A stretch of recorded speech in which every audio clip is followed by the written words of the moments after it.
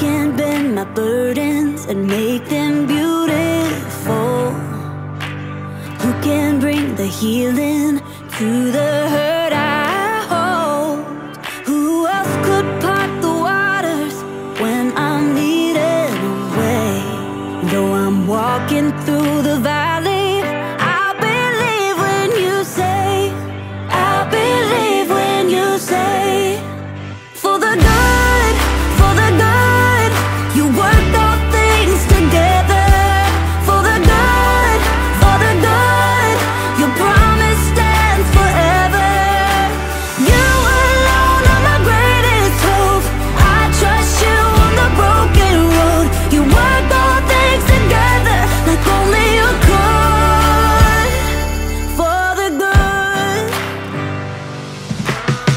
do